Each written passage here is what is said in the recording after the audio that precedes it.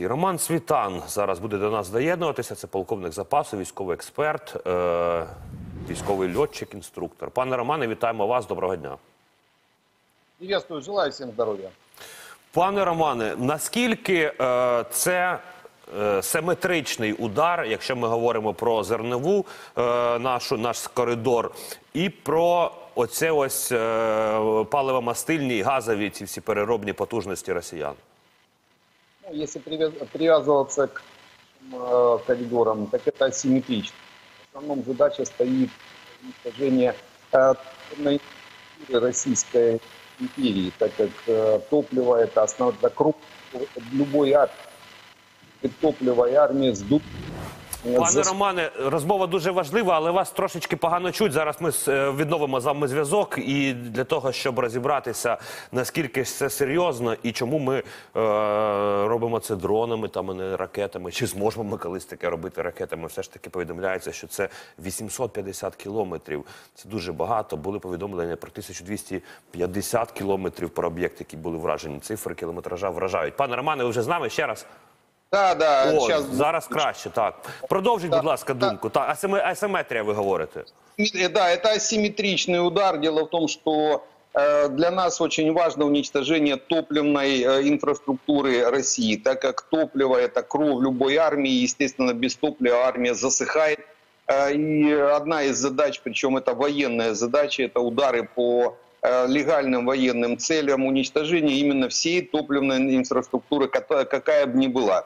Э, Вот так- такого рода терминалы, они, э, с одной стороны, питают российскую экономику, продавая, особенно э, терминал под, под э, Питером, продавая э, сжиженный газ в обход санкций, а с другой стороны допи- подпитывают э, и армию в том числе, потому легальные военные цели. Вот этот терминал Новотековский под Питером, есть еще такого же, такого же рода терминалы в Новороссийском порту, который используется еще и как военный порт, э, плюс Туапсинский терминал. То есть э, таких терминалов много, я думаю, в ближайшее время они будут э, также по- подвергнуты ударам.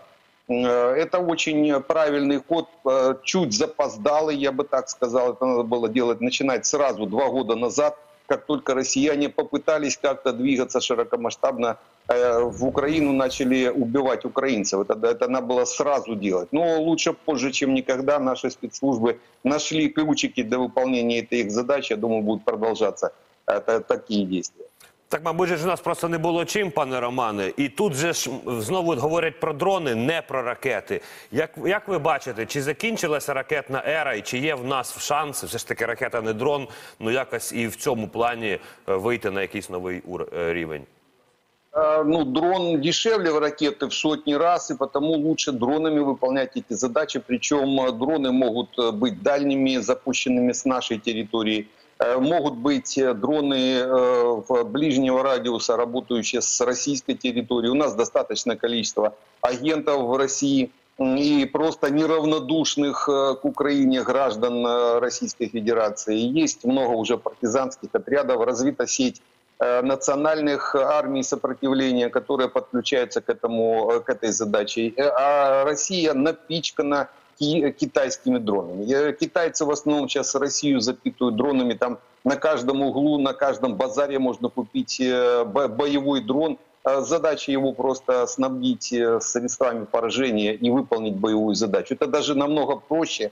Э, Дело в том, что, э, допустим, дроны, запущенные с нашей территории, они идут по GPS-навигации. Это очень сложно. Надо попасть, допустим, точно э, по э, бочке э, с, э, с топливом, допустим. Э, Оптимальный вариант это использовать дроны на прямом управлении, когда оператор э, видит, куда он направляет дрон. В режиме дрона камикадзе, только управляемого до точки удара. А это лучше делать с российской территории. Скорее всего, так и, э, так и было сделано.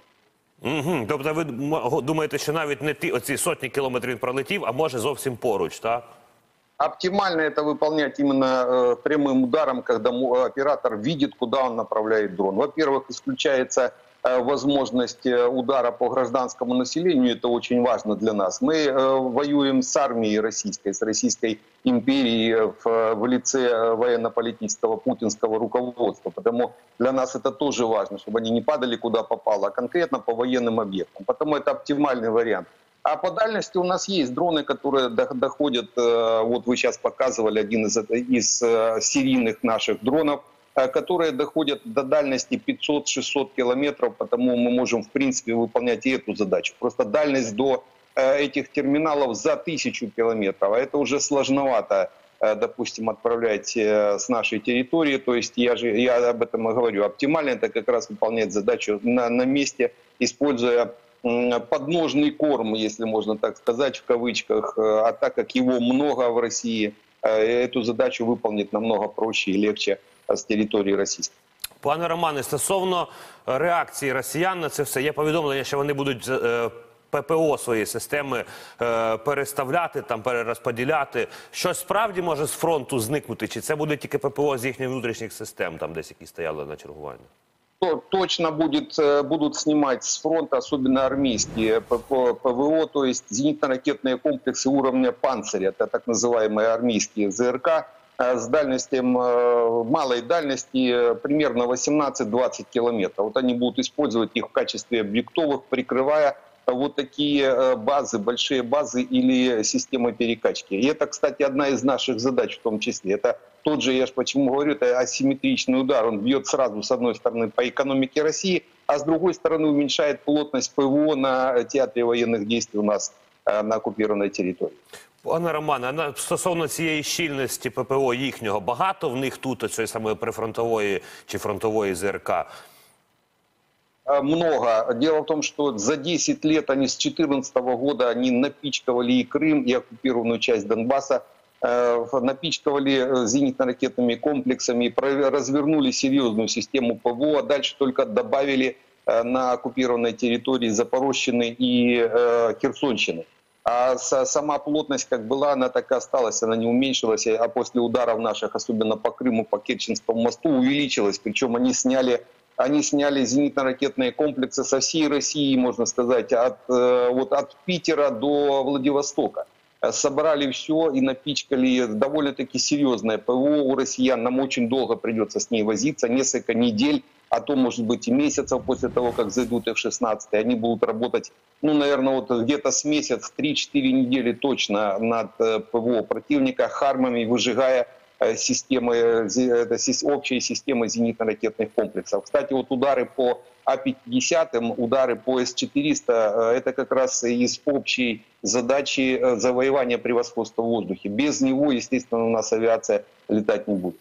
Пане Романе, і в цьому контексті оцей панцирі, вже згадані нами ЗРК, вони ж виготовляються в Тулі, так? І там так само лунало, з'явилися все такі кадри, там понівечене подвір'я, валяються е, цегла, двері повилітали.